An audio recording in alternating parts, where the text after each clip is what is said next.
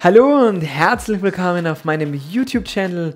Ich bin der Marcel Clementi und es freut mich voll, dass wir heute wieder gemeinsam so richtig durchstarten. Fit mit Yoga Teil 4. Das heißt heute wieder eine Kombination aus Yoga und Kraftübungen für mehr Kraft, Balance und Flexibilität. Bevor wir starten, wäre es wie immer eine riesengroße Unterstützung, wenn du dieses Video liken könntest und diesen Kanal abonnierst, falls du das noch nicht gemacht hast, um kein weiteres Video von dieser Reihe Fit mit Yoga zu verpassen. Aber es gibt da viele andere Reihen, wie denen für Unbewegliche, Yoga für Anfänger, für Fortgeschrittene. Also wirklich für jeden was dabei und mit hat es völlig freien. Also vielen, vielen Dank für die Unterstützung. Wir brauchen heute nur eine Yogamatte. Fitnessmatte geht auch, nur nicht zu dick. Also lieber dünnere Matte, ist besser für die Handgelenke. Und dann würde ich sagen, wenn immer du bereit bist, schnapp die Matte und los geht's.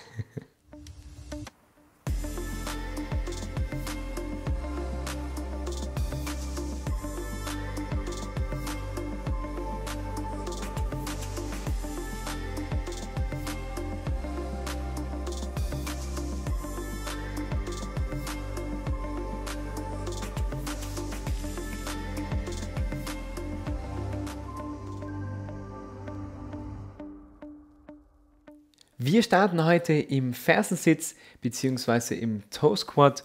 Also wir stellen da die Zehen auf. Wenn es für die möglich ist, wenn es nicht möglich ist, dann bleib einfach im Fersensitz sitzen. Wenn es zu intensiv ist, dann einfach in den Schneidersitz. Wenn der auch nicht geht, dann einfach irgendeine Sitzposition. Du kannst eine Matte drunter legen oder da etwas platzieren, ein Kissen, dann wird es angenehmer. Wenn du die Zehen aufstellst, dann ist es wirklich eine super Übung für die Plantarfaszie unten am Fuß und bevor wir starten, nehmen wir auch heute wieder fünf tiefe Atemzüge. Also schließ gern deine Augen, roll die Schultern mit der Einatmung hoch nach hinten, der Ausatmung lass sie ganz locker fallen. Und dann beginn tief durch die Nase bis in den Bauch zu atmen.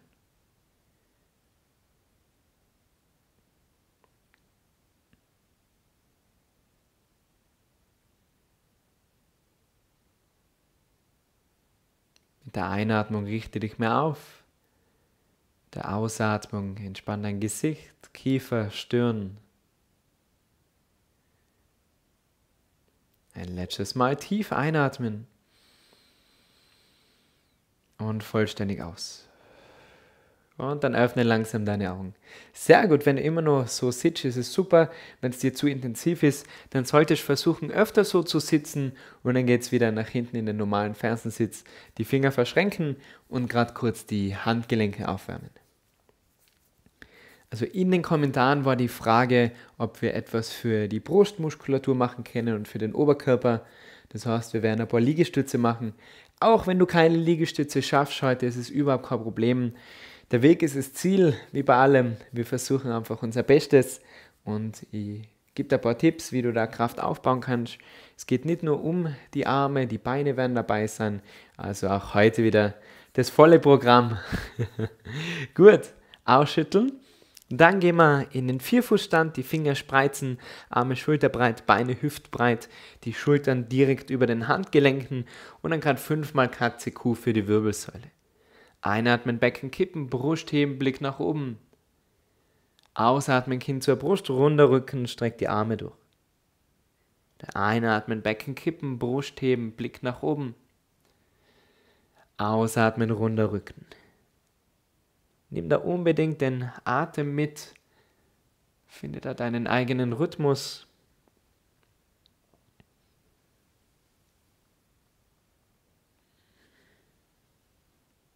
Und ein letztes Mal.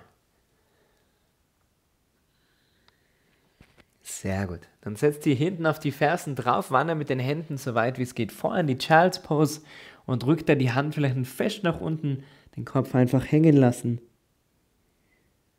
Vielleicht kannst du mit den Fingerspitzen noch ein bisschen weiter vor. Auch da noch ein letzter tiefer Atemzug. Sehr gut. Und dann gehen wir wieder hoch, stell die Zehen auf und wir gehen in den Stütz. Schau, dass die Schultern über den Handgelenken platziert sind, der Hintern nicht durchhängt. aber auch noch kein herabschauender Hund, sondern wirklich im Stütz halten, um mal den Körper überhaupt aufzuwecken. Spann selber noch zusätzlich die Oberschenkel an. Vielleicht sogar die Schulterblätter öffnen, indem du dich noch mehr durchstreckst.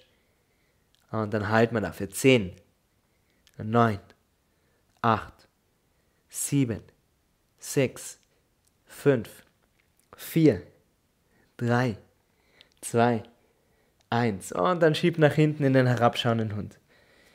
Gerne die Füße jetzt hüftbreit auseinander, vielleicht ein bisschen Bewegung in den Beinen, in der Hüfte. Wichtig ist, dass du die Arme ganz durchstreckst, die Hände fest in die Matte drücken. Der Rücken wird da schön lang, wenn wir den Hintern nach hinten hochschieben. So kannst gern die Knie gebeugt lassen.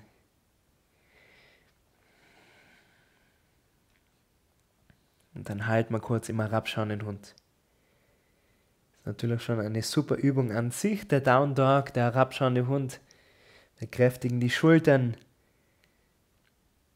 öffnen da die Schulterblätter, ziehen den Rücken in die Länge, dehnen sogar ein bisschen die Oberschenkelrückseiten, wenn du die Fersen anfängst nach unten zu drücken. Dann noch drei Atemzüge.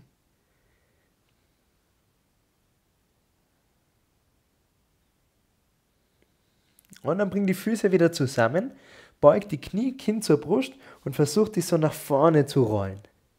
Jetzt sagst du nochmal kurz vor, kann das selber nicht so gut, einfach ausprobieren. Nach vorne rollende Bewegung, dass wir wieder in diesem Stütz sind und dann machen wir etwas zwischen 0 und 10 Liegestütze. So entweder du haltest nochmal im Stütz oder du machst die Liegestütze mit Hilfe deiner Knie, gehst nach unten und wieder hoch und wenn du heute noch keine Liegestütze schaffst, dann konzentriere dich auf die exzentrische Bewegung. Das heißt, langsam nach unten gehen gegen die Schwerkraft und dann vielleicht wieder mit Schwung hoch und dann wieder vor und ganz langsam nach unten. Insgesamt zehn Stück, also ein paar hast du jetzt sicher schon gemacht in der Zwischenzeit. Und dann treffen wir uns wieder im Stütz und schieben nach hinten in den herabschauenden Hund. Sehr gut. Füße wieder zusammen, einatmen, rechtes Bein weit nach oben. Mit der Ausatmung der Schritt zum rechten Daumen vor. Gern kurz das linke Knie absetzen, Zehen auflegen, einatmen, Arme hoch. Ausatmen, schiebt die Hüfte nach unten und vor. Schau, dass das Knie nicht übers Fußgelenk drüber geht. Ansonsten den Fuß ein bisschen weiter vorstellen und der Oberschenkel geht gerade nach vorne.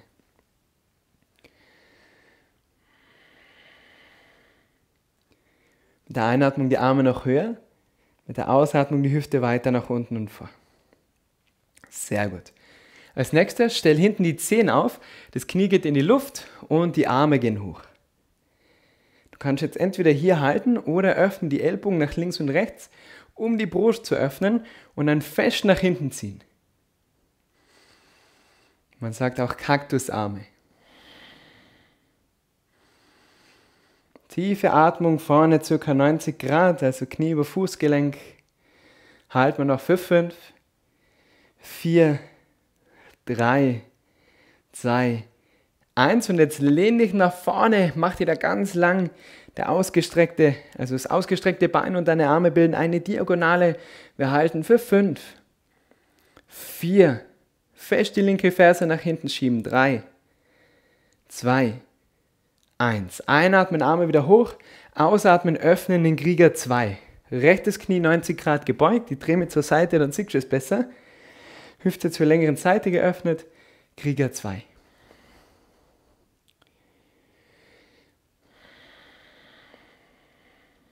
Jetzt geht der linke Arm über den Kopf, den rechten Arm könnten wir am Oberschenkel ablegen, aber wir versuchen den zusätzlich nach vorne zu strecken. Lass die Hüfte zur längeren Seite geöffnet, kräftig die seitlichen Bauchmuskeln.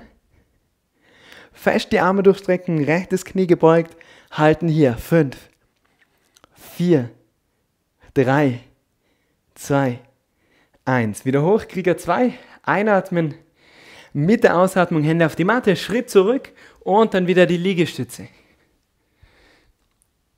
umso weiter du die Hände auseinander gibst, umso weiter geht die Kraft auf die Muskulatur, auf die äußere Brust. Wenn du die Hände zusammengibst und die Füße weiter auseinander in so Diamond Push-Ups, dann ist es eher die innere Brust. Also wahrscheinlich eher dann was für die Männer, diese Art der Liegestütze. Natürlich kann es jeder machen. Wenn wir circa 10 gemacht haben, dann halten wir wieder im Stütz. Dreh mich schnell zur Seite. Soll natürlich keine Ausrede sein für Pause. Gut, und dann schiebt nach hinten herabschauender Hund. Kurz durchatmen, den Puls wieder beruhigen.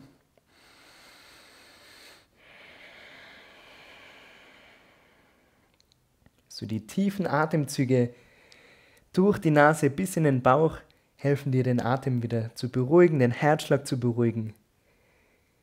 Und so kannst du auch, wenn mal eine stressige Situation hast oder die ärgerst, mit fünf tiefen Atemzügen so viel verändern. Die Ruhe bewahren, klare Gedanken finden. Also nochmal ganz tief ein und vollständig aus. Füße zusammen, einatmen, linkes Bein hoch. Ausatmen, der Schritt nach vorne zum linken Daumen, rechtes Knie ablegen, Zehen gerne am Anfang auflegen, Arme hoch, mit der Ausatmung Hüfte nach unten und vor. Da wieder kontrollieren, geht der Oberschenkel nach vorne, das Knie nicht über die Zehenspitzen. Sobald du merkst, die Ferse geht in die Luft, dann ist der Fuß zu nah bei dir. Einatmen, Arme ein bisschen höher, ausatmen, die Hüfte noch weiter nach unten und vor. Sehr gut. Zehen aufstellen, Knie geht in die Luft. Auch hier wieder die Ellbogen beugen, fest nach hinten ziehen, um die Brust zu öffnen.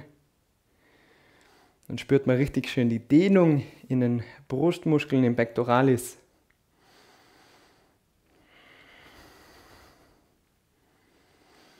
Dann noch halten für fünf, vier, drei, zwei, Eins, sehr gut. Diagonal nach vorne, macht die ganz lang. Oberkörper bleibt oben, nicht zu weit nach unten, nicht am Oberschenkel ablegen. Diagonal, Arme vor. Fünf, vier, rechte Ferse fest nach hinten schieben. Drei, bleib vorne mit dem linken Knie. Zwei und eins. Einatmen, Arme hoch. Ausatmen, Krieger zwei. Rechter Arm geht über den Kopf, linker Arm geht mit nach vorne, Hüfte zur längeren Seite drehen. Halten fünf Vier, linkes Knie bleibt gebeugt. Drei, zwei und eins. Wieder Hochkrieger zwei. Einatmen hier. Ausatmen, Hände auf die Matte, Schritt zurück.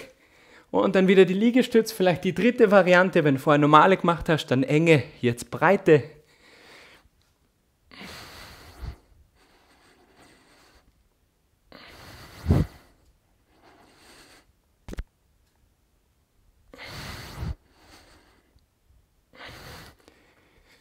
treffen wir uns wieder im Stütz.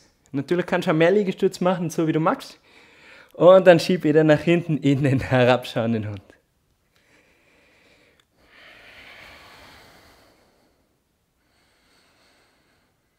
Beim herabschauenden Hund den Abstand zwischen Händen und Füßen so wählen, dass wenn du nicht ganz vorne stehst, dann sieht man, okay, das ist zu nah, da ist keine Dehnung, da ist kein langer Rücken. Das wäre zu weit auseinander.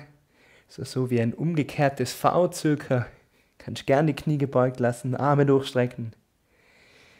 Letzter tiefer Atemzug. Und dann leg die Knie auf der Matte auf.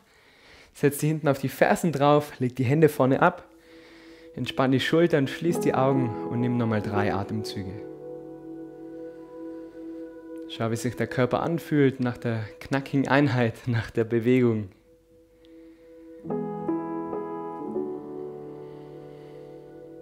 Letztes Mal tief einatmen. Vollständig aus. Und dann öffne langsam deine Augen. Vielen, vielen Dank, dass du heute wieder mit mir Yoga gemacht hast, dass du mit mir durchgestartet bist. Ich hoffe, es hat dir gefallen. Bitte vergiss nicht, diesen Kanal zu abonnieren, das Video zu liken und vielleicht ein paar deiner Freunde zu schicken, die auch mit dem Yoga und mit Bewegung starten sollten wenn du jetzt noch motiviert bist, dann mach halt gerne noch Teil 1, 2 und 3 gleich dazu, dann hast du eine komplette Stunde äh, Workout. Und ja, wichtig ist natürlich, dass man regelmäßig was macht, dass man sich regelmäßig Zeit für sich selber nimmt, um an sich zu arbeiten, um an seinem Körper zu arbeiten. Mit einmal ist es nicht getan. Also ich hoffe, wir sehen uns wieder. Falls du Lust hast auf längere Einheiten, Power Yoga, ganze Stunde mit mir live, wo ich auch schauen kann, was du machst und deine Schritte, deine Gelenke und alles im, im Blick habe dann schau gerne mal auf Patreon vorbei. Das ist meine Online-Community, die mich unterstützt und wo wir uns austauschen, wo ich meine Rezepte teile, Buchtipps und eben Online-Workshops, längere Videos und Live-Yoga. Und wenn du gerne mehr über Yoga lernen möchtest und mal eine Auszeit für die nehmen willst, ein ganzes Wochenende, dann komm doch mal auf ein Yoga-Retreat mit mir. Da hast du die Möglichkeit, verschiedene Yoga-Stile kennenzulernen, Power-Yoga, aber auch entspanntere Sachen Meditationsworkshops und vieles mehr in Kombination mit schönen Wellnesshotels, leckerem Essen und die Möglichkeit auch neue Leute und mich kennenzulernen. Da hat mich voll freuen, wenn wir uns mal sehen. Also auch da der Link unter diesem Video zu meiner Webseite. Und dann sage ich nochmal vielen, vielen Dank, wünsche dir noch ganz ein feines Tagele und wir sehen uns beim nächsten Mal wieder. Bis dahin, alles, alles Liebe. Namaste.